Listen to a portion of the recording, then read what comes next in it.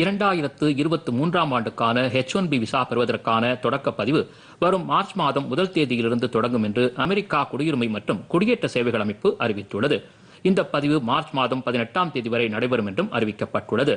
Online பதிவு முறையை பயன்படுத்தி விண்ணப்பதாரர்கள் அல்லது அவர்களது பிரதிநிதிகள் பதிவு நடைமுறையை நிறைவு செய்யலாம் என்றும் அந்த அமைப்பு தெரிவித்துள்ளது. ஒவ்வொரு பதிவுக்கும் அதனை உறுதிப்படுத்தும் எண் வழங்கப்படும் என்றும் இந்த எண்ணை பயன்படுத்தி பதிவு நிலவரத்தை தெரிந்து கொள்ளலாம் என்றும் தெரிவிக்கப்பட்டுள்ளது.